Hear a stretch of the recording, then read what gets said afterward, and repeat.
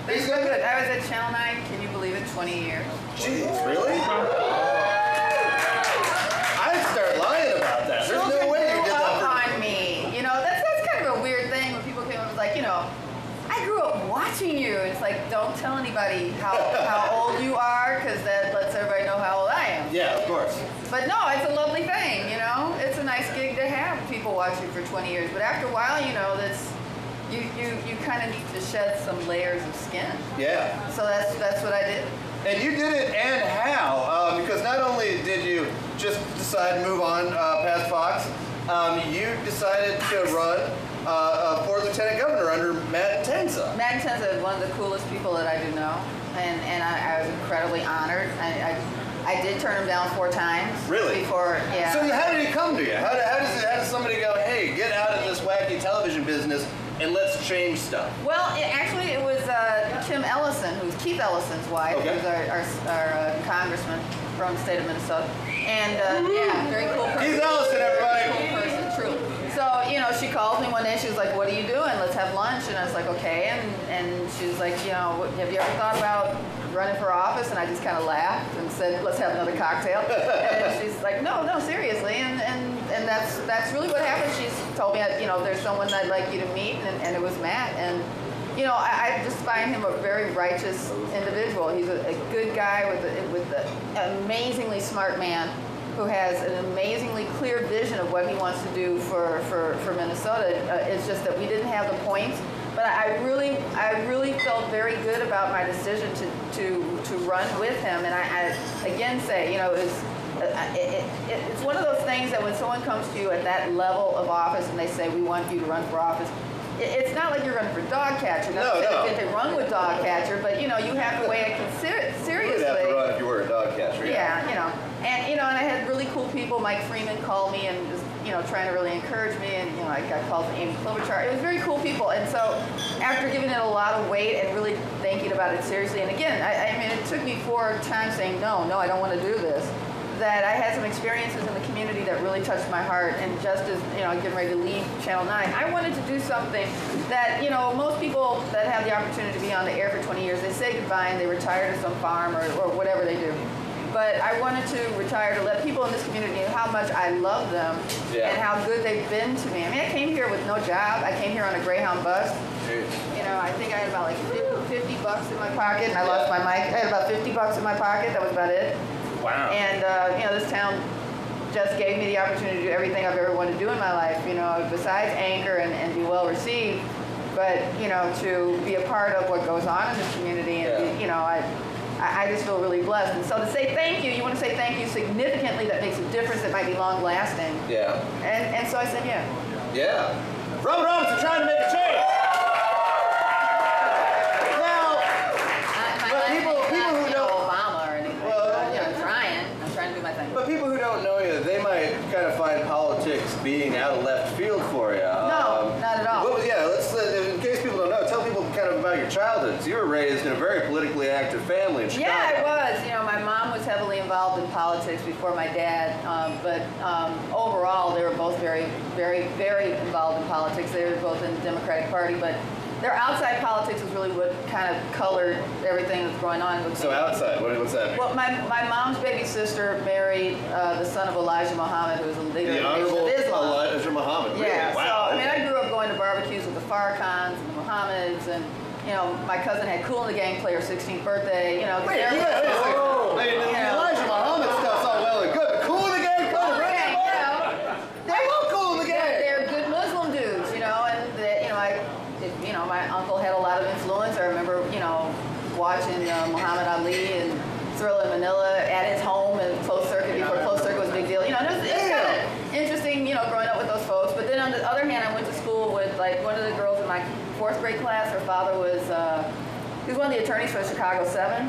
You know, Jeez. and so I mean, I had a really, really very interesting childhood growing up. You know, FBI show up at our door sometimes. Sometimes, you know, it was kind of weird. That's like the coolest Phones family ever. You know, our phones tapped. It was kind of cool. Hey, Yeah. but I mean, who would have thought little girl Robyne, who uh, you know was hanging around that, would end up doing Fox News for as long as you did? And now that you're out, give me some dirt. There's some dirt. Yeah, give me some dirt. What really happens there?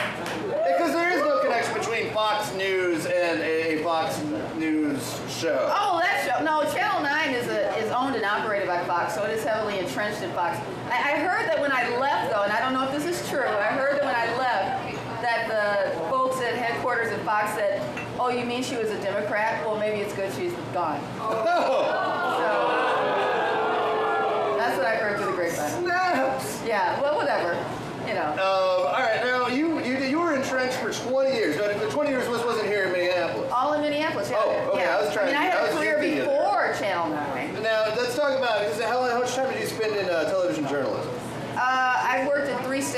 before I came to Channel 9. So that means I'm a really old chick, but I worked in South Bend, Indiana, and then Norfolk, Virginia, and then Dallas, Texas, and Baltimore, Maryland before I came here. Yeah. Yeah. And let's talk about uh, like what's like the scariest thing that ever happened to you when you're on the news? Covered a Klan rally. Really? Yeah. Where at? Covered a Klan rally in Cumming, Georgia. Oh, thank God it wasn't Indiana. Anytime anybody has a No, Klan I mean, story, it's the it's about birthplace my of the home state, Klan. Indiana. Totally the birthplace of the Klan. but Yeah, I it covered is. a Klan rally in Cumming, Georgia. Pretty cool. Pretty What- scary. How did that go? Well, you You're know, here, the so- highlight of it was when the photographer I was working with, he kind of grew up in the area. And we were trying to find out where the Klan was staging its march before they marched into Cumming. And so we found it. It wasn't a very comforting feeling that we found it. And he goes, here, you take the car. I'm going to get out here and shoot. You drive into Cumming and, and, and go to the staging area. And I'm like, dude, do you realize, look at me, I am black. You know, and, and it's like, uh, you know, I was really scared. I think I was the most, I was about 24 years old at the Yeah. time. So I drive down to Cumming, and um, there there was a staging area, but there was a DQ real close, and it had a parking lot. So I parked my car in the DQ lot, and I start walking. And the streets are pretty much deserted because they Yeah. know what's about to happen, and Yeah. folks don't really want to be bothered. No. And I remember walking, and I heard behind me, so I go, "Excuse me, excuse me." And I turn around, and it's this good old boy with a rebel flag hat, and another dude in the sheets. I mean, totally Yeah. in the sheets, right? And he has a camera. He's videotaping. Oh, and the, the dude in the rebel hat goes, "Can you wave to our camera?" And I, I was like, "Yeah, hey," you know. And I'm kind of backing up as I'm, you know, I've never stopped walking. I was Yeah. just like, "Just keep walking, keep walking." And then I hear the one of the sheets say, "If that looked like you, we wouldn't mind you in coming." And it, it freaked me out so bad that I was just like, oh, this is not good. This is not good. So I just kind of walked my way up the hill and I got into the staging area and all these people from all these networks turn around and the guy goes, where did you come from? And I said, I parked at the DQ. And he goes, oh, Jesus Christ, girl. And he like just goes like, you are insane. So yeah, that was one of the scarier moments I had. You know what? It's not, we're not done with the interview. Ladies and gentlemen, Robyne Robinson. Now, and this is the kind of stuff that I mean, I wish I knew about you earlier. As a television personality, it's like, this is exactly the kind of person I want to watch every day doing whatever. I don't care if you're gardening, I don't care whatever. Dude, I have fun in TV. You know, it, it's, it was just, you know, all, all throughout my career, there's been something weird that has happened that I've, I've always had great pleasure in. The fact that it was something weird, and you can tell a story. So, and uh, real quick, uh, what, what's next for you? Well, right now, um, I am working on my jewelry line, which is Yeah, rocks. Everybody, pay attention. Yeah, we just got a big feature in an Italian magazine, which I'm very excited about, and um, uh, we're working to prepare our, our product line to go on Shop NBC. And about uh, eight or nine stores that I Twin Cities, in Santa Fe, Tampa, Naples, Florida, New York City, and Athens, Greece. Now, if you were looking real quick to uh, find Rocks Jewelry on the internet, where would you look? All you have to do is go to roxmpls.com. Yeah. Awesome. All right, um, here's a quick word. Everybody, Robyne Robinson. Yeah. Can I get a shot? I didn't get a shot. The coolest person in any room, and she's now asking for a shot. I would like a headshot. Oh, we got a huge shot here. Yeah, it's so exciting. Yeah, exactly how big it should be for the badass that you are. Um, real quick, we've got a new sponsor, everybody. Let's take a look and see what it is. Shall we? I say we shall. It's a loud sponsor.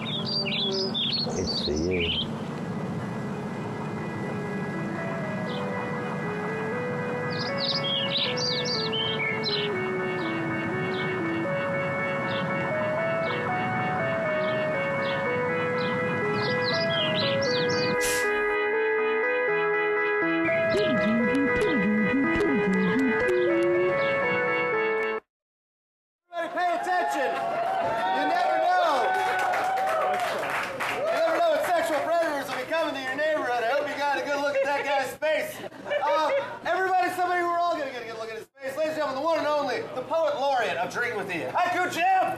Thanks, everybody. Thank you so much. Thank you, thank you, thank you. You know, um, in Robyne's case, she had the uh, FBI showing up to her door. In my case, it was the um, Schwan's truck that had a cancellation in the neighborhood. So if that gives you any indication. Uh, I do have a haiku today. Uh, Ian, it, it uh, had article, I read an article in the New York Times, and um, my friends at Harvard University did some hardcore studies on the influenza virus and our chance of actually catching it. It goes like this Harvard research states popular people catch flu. So we should be fine. Yep. hey,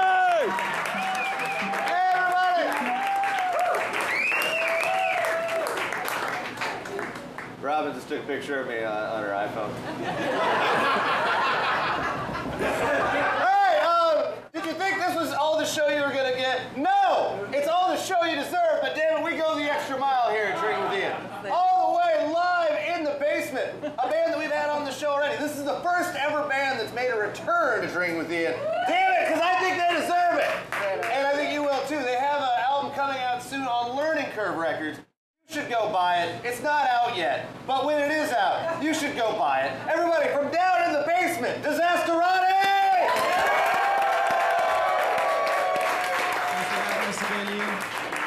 The veteran.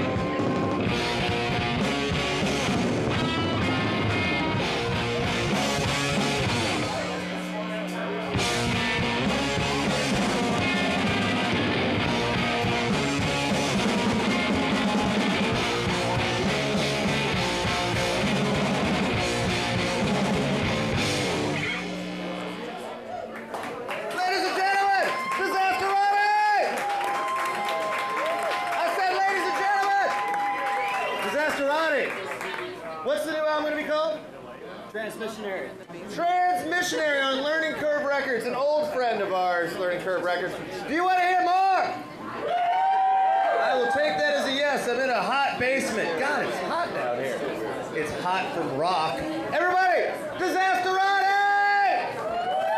And at least one more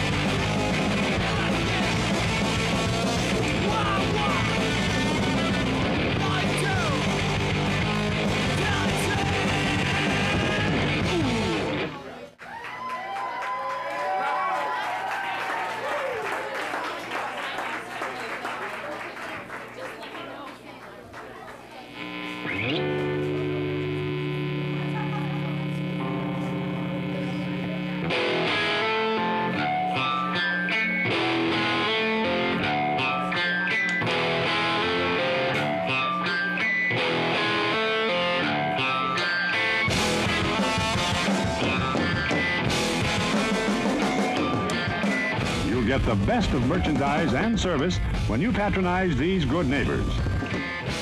Drinking with Ian is proud to be sponsored by gold medal winner UV Vodka. No matter if it's UV Blue Raspberry, UV Red Cherry, UV Green Apple, UV Ivory Vanilla, or UV Orange Vodka, UV flavored vodkas offer a premium product without the high price tag. Please visit uvvodka.com for additional information and recipes. No beer in the Midwest has a grander brewing tradition than Grain Belt. For over 100 years, Grain Belt has been the beer that fathers have passed on to sons and friends have passed amongst each other at local bars and watering holes. It is a beer with tradition that spans generations, which is why it has become legendary, both here and across the country. Next time you go out, ask for a premium. EMI Audio, the Twin Cities premier resource for DJs, bands, and drinking with Ian. Rentals, sales, installation, and repair of DJ gear, PA systems, and effect lighting. A family owned business for over 35 years. Visit EMIaudio.com for all your audio, video, and lighting needs. A portion of Drinking with Ian is sponsored by The Onion, America's finest news source, and the AV Club, bringing you reviews and commentary on the arts and entertainment scene. Available at newsstands throughout the Twin Cities and online at theonion.com and avclub.com.